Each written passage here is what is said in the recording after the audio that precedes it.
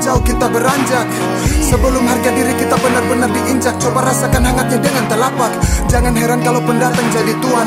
Jangan tanya kalau pribumi jadi pelayan. Butuh kesadaran Butuh kesadaran. Jual tanah bukan cara untuk ubah kehidupan. Pendatang jadi mayoritas.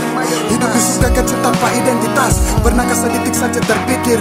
Hidup di mana anak cucu kita yang nanti lahir? Jawaban apa yang akan Tuhan beri Saat mereka tanya tentang jati diri. Saat kita diasingkan di tanah sendiri Percaya leluhur kita sedang menangis lihat semua ini. Dia makin